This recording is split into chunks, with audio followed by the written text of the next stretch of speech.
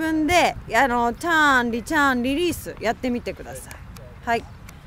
ターンリターンリリース。リリースで止まってみてください。そうそうそうそう。そこですね。そこにも行きますよ。はい。でフィニッシュまで。はい。あじゃあそのままちょっと振り切ってみてください。